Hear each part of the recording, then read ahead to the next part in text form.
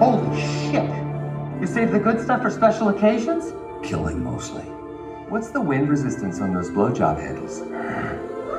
Sorry, just a catty bitch and I'm jealous. All right, let's do this. Maximum effort.